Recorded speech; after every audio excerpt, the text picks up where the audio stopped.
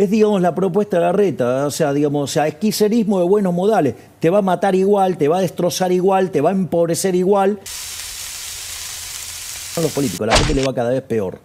Y ahí que el presidente de la Nación el otro día tomó una decisión que fue eh, no acatar un fallo de la Corte. Después reculó un poco. Pero digo, ¿eso qué significa para, para un país? No, bueno, eso, digo, en primer lugar, es un desastre institucional. Nosotros estamos, de, digamos, es más, a mí no me parece bien que el, resto de la oposición se haya bajado en el tema del juicio político. O sea, esto amerita un juicio político igual, por, por impresentable. Ahora, eh, acá el, problema, hay, hay, hay, varios problemas con, con esta situación. Una es la Corte, digamos, o sea, es la última instancia. Es decir, ¿cómo querés recusar? Aparte, si querés recusar, hacelo antes del fallo, ¿no? Digo, o sea, si fallan a mi favor está bien, si fallan en mi contra está mal, digo, eso es un disparate. Es decir, viola todo, digamos, viola eh, el concepto de la República, invade el Poder Judicial, con lo cual, cuando vos te metés con el Poder Judicial, entonces el, Ejecutivo se puede convertir en una tiranía, y cosa que Alberto Fernández es un tirano, porque de hecho digamos, se pasó por el traste la Constitución durante la cuarentena. Él, Kichilov y Larreta también, ¿eh?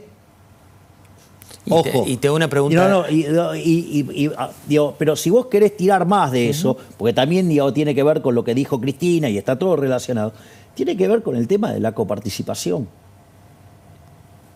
En el fondo, toda esta discusión es la coparticipación, o sea, la Ciudad Autónoma de Buenos Aires recibía un punto 4 de la coparticipación, Macri la llevó a 3,75, después cayó a 3,50 y, digamos, Alberto Fernández, digamos, o sea, la quiso llevar de vuelta a 1,4. Ahora, digo, ¿cuál es el, el, el problema?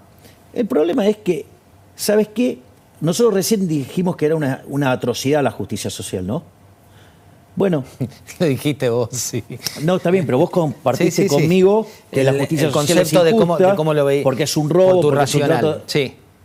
Bueno, está bien, pero me parece que nos pusimos de acuerdo en los uh -huh. valores morales, que robar está mal. Completamente que, de acuerdo. Bueno, y que tratar desigualmente frente a la ley. Bueno, ¿qué te crees que la coparticipación es la versión de la justicia social a nivel nacional? Bueno, pero ahí, mira, este. No, pero, per, perdón, sí. José, porque esto es importante.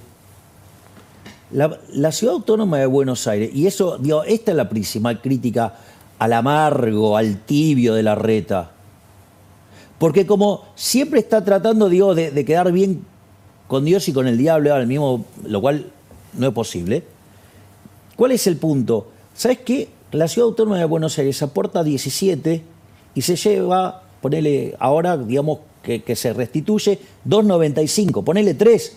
Dale, o sea, es una estafa. Cuando vos, frente a esa situación, vos le tenés que parar de mano, no salir con la estupidez de, no, bueno, eh, en realidad aquellos, digamos, que abonan la grieta eh, eh, son traidores a la patria. Mirá cómo te la mandaron a guardar, la tuviste que ir a buscar al ángulo, después terminaste llorando en la justicia. Pero el problema cuál es? ¿Sabes lo que pasa? En, en fútbol sería muy claro. Si vos vas a todo el tiempo colgarte el travesaño, Vas a perder, José. Primero porque los partidos se ganan haciendo goles. Los 11 colgados de travesaño, no. Ahí no te referís a la reta. Y sí, obvio. O sea, la tibieza lo único que te hace es te manda a la B. Porque aparte, si vos mirás lo, el promedio, todos los tipos que van al, al, descenso tienen un poquito más de uno. Y vos colgado del travesaño, como me, en el mejor de los casos, te llevas un punto de los tres. ¿Sabes qué? Descendés. Eso sí, digamos, hasta lo podés hacer invicto pero descendés.